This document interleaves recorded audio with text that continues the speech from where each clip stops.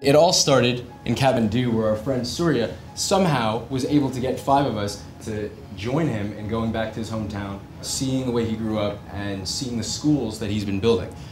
I've been working with the Alba Foundation, a foundation based out of US, constructing schools. We currently have around 12 schools in Nepal.